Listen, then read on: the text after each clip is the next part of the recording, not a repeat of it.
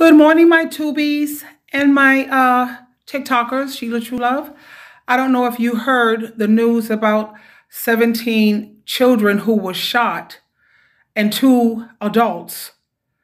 You know, this is ridiculous. You, you, you children can't even feel safe in school. You can't even feel safe sending your children to school. I say homeschooling. You know, I am just so uh, glad that my daughter chose to homeschool her children that was very wise. This day and age, it is so important for you to let those that you love know how much you love them because you don't even know if you're going to see them again. They walk out the door in the morning, you have no guarantee whether you're going to see them in the evening.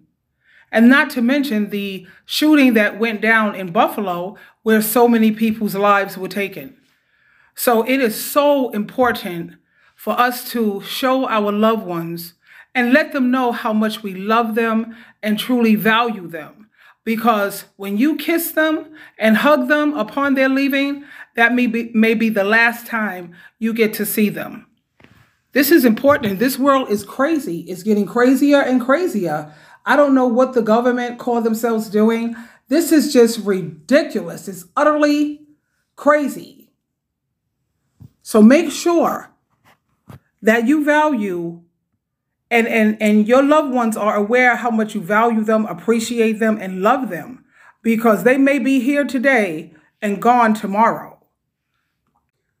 It's also important for you to get your life in order before you die because you know once you die, that's what you're going to be judged on.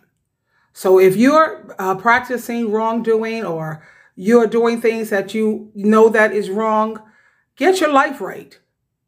Because once you're dead, baby, it's over. So I just wanted to send this message out to make sure that you're showing the people that you love. You have COVID out here that are taking lives. It's just, it's kind of scary. You know, even though I have faith in Jehovah God and Jesus Christ, because there's nothing that can be done to us that Jesus Christ can't undo. I know about the resurrection. I know that he has resurrected uh, people in the past. At the same time, it's, it's hard to lose loved ones and people that you love and truly value. And for all those Jehovah's Witnesses who are shunning their family members, that's It's, it's, it's just horrible because you don't know when or what could happen to them. Get that right. Fix that. Straighten that up. Really.